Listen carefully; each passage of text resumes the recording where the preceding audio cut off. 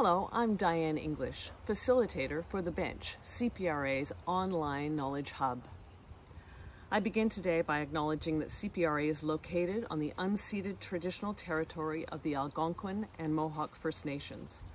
I'm also grateful for the opportunity to bring you this week's CPRA update from the traditional territory of the Tsaksa'aw peoples on the Sunshine Coast in BC. Over the past year, we have learned how important it is to stay connected with colleagues close by and those across the country. That's why CPRA created the bench as a place for people to share information, access resources, news, and job postings, and find out about professional development opportunities. Think of it as your one-stop shop for a huge range of essential knowledge. There are now more than 1,700 people using the bench. That's an incredible amount of expertise that you can tap into just by tapping your keyboard. It's free to join the bench, and once you're a member, I encourage everyone to join one of the discussion groups. They're like mini communities of practice.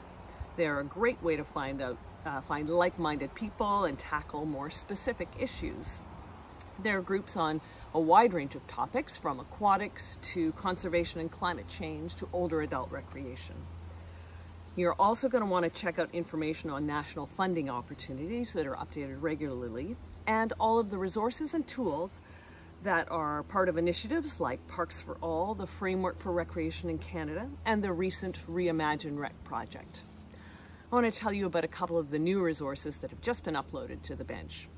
We've added an updated assessment tool that, that can help your community or organization align with the Framework for Recreation in Canada or you can download a summary report from the Reimagine Rec project, or one of the five infographics and research insight fact sheets from that same project. There's a wealth of stats and information on these that you can use every day when you're building your case for recreation and parks in your community. For example, did you know that five out of six people in one survey said that being physically active in a park was essential for their mental health? And 70% of Canadians appreciate parks more now than they did before COVID. And in some jurisdictions, park use soared by over 90%. And there's one more reason to go to the bench this summer. We're giving away two Yeti insulated mugs. All you have to do is join the bench or post a discussion topic, uh, an event, or uh, post a resource. We'll randomly choose one new bench user and one post. So sign up today at thebenchcpra.ca or visit the CPRA website to find a link to the bench. Thank you, merci, and I'll see you on the bench.